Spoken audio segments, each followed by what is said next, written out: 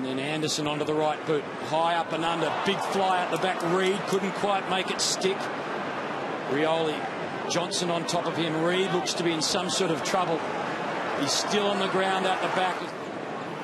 So Reid just launched himself here. Comes down. And. Looks like his knee there. Yeah.